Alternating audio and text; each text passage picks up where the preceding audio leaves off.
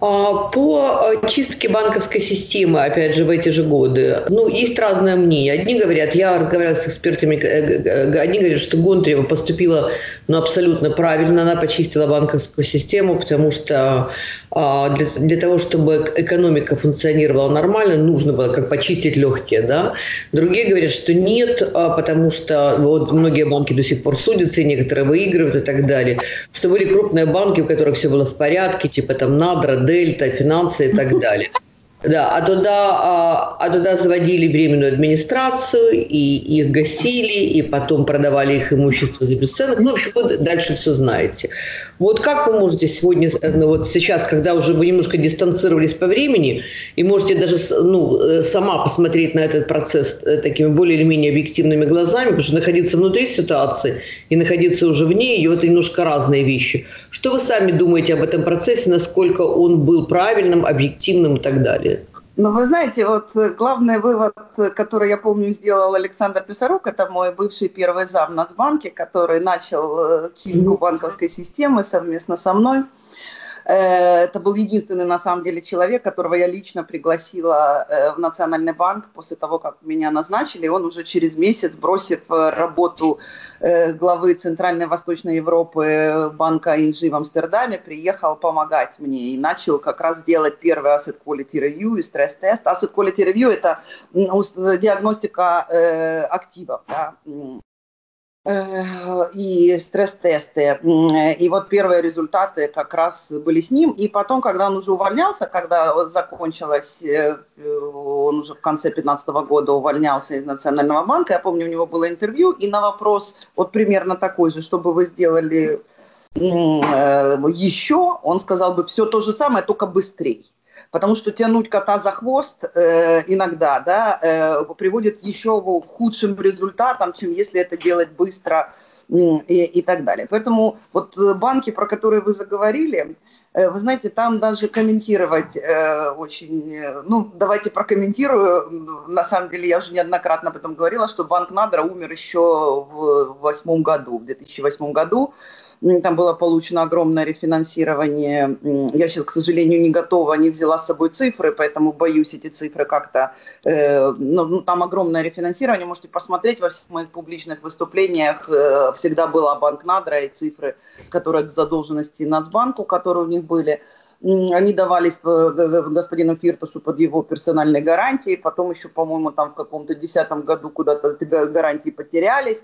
Ну, в общем, там была полная ерунда. В этом банке была огромная задолженность Национальному банку, которую никто не отдавал э, уже практически, когда мы пришли, там скоро 10 лет, как после кризиса было, их никто не отдавал. Э, то же самое было у банка «Живаго». Вот я помню, там было э, по курсу 5, ему выдали просто 6 миллиардов гривен рефинанса, которую ни копейки никогда не отдавал никому.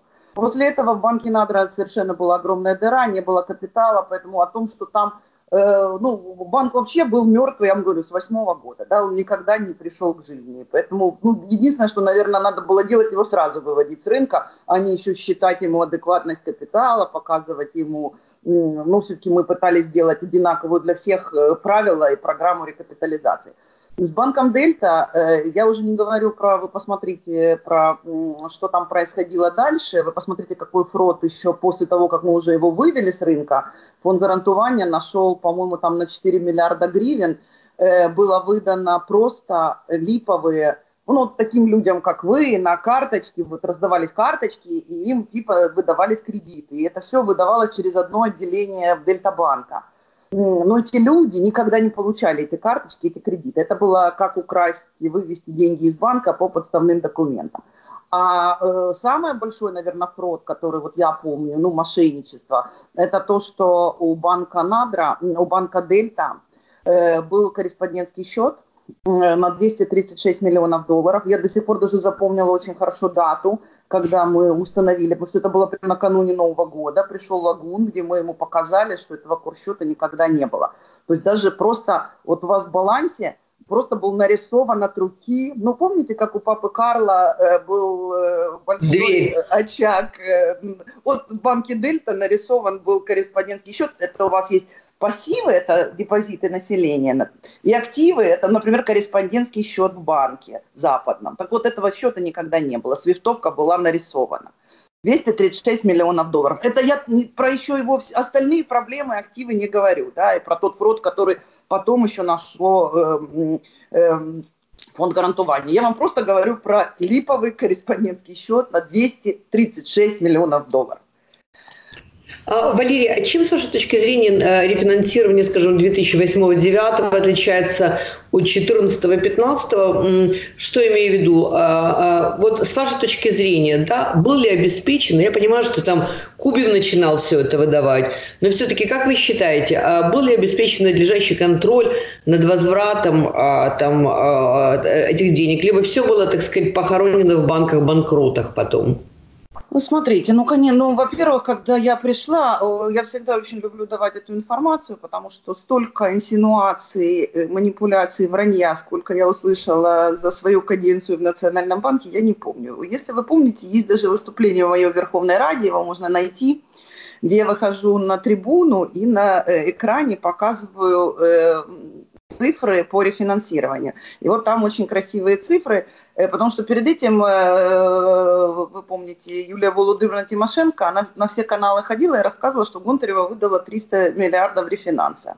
Ну, ну, большую ерунду уже рассказывать было нельзя, потому что когда я пришла в Нацбанк, выданного рефинанса было 110 миллиардов гривен. Когда я уходила из Нацбанка, э, оставалась задолженность по рефинансу 19 миллиардов гривен. Вот 110 и 19, да, вот хорошо понятно. Из этих 110 миллиардов 70 вот этой задолженности, про которую я говорю, выдала, ну, считайте, Юлия Володимировна и э, времена вот того еще восьмого года.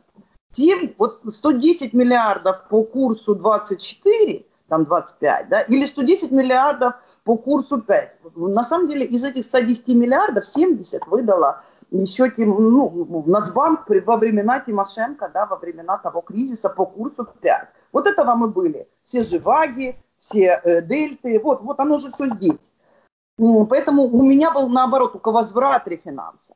Или, к сожалению, мы выводили банки с рынка, которым они выдавали рефинансы, которые не возвращали. Да? Поэтому просто эти, э, оно уходило в фонд гарантования вместе с этими долгами, и до сих пор оно там. Поэтому у меня был возврат рефинансов. Что мы сделали? Ну, потому что началось, когда в сентябре месяце начался страшный, вы помните, э, Иловайск, и реально под, в, войска стояли под Мариуполем, и уже, ну вот у меня уже лежала постанова, поверьте, ее никто не увидел, ну, но она лежала такая, где, ну, совсем уже. Вот наша постанова 124, где мы ее считали драконовскими административными мерами, то лежала постанова такая, что если бы э, зашли войска все-таки в Мариуполь, то, ну, там совсем бы рынок поросный бы закрывали, потому что, ну, невозможно было. Паника такая, кроме того, что объективно вы не понимаете, какой должен быть курс, потому что в один день вы теряете 30% валютной выручки, потому что Донбасс – это ваша, э, металл – это ваша валюта, да. Э, у вас разрывается платежный баланс, у нас совершенно нет никаких резервов это спасать. И, ну, это то, что мы называем perfect storm, да, то, что случилось с нашей страной, слава богу, нам все международное сообщество помогло это пережить. Поэтому э, там опять начинается паника населения, и мы вводим рефинансирование только под выплаты гарантированных 200 тысяч в руки человеку.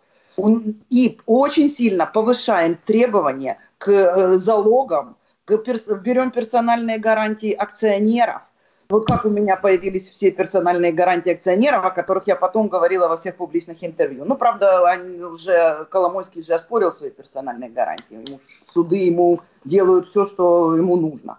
О Коломойском мы сейчас поговорим еще. Э, поэтому, смотрите, это, это полная ерунда. Я пришла, было 110 миллиардов рефинанса, я уходила, остаток по рефинансу 19 миллиардов. То есть я его просто убрала вообще, да, уменьшила, из которых 19 миллиардов, из них, из них по-моему, не, или даже 14. К сожалению, уже два с половиной года не могу вспомнить. Даже 14, из которых, по-моему, 14 это был э, приват, и что-то было у Укргазбанк. То есть два госбанка, которые потом в итоге это все и вернули.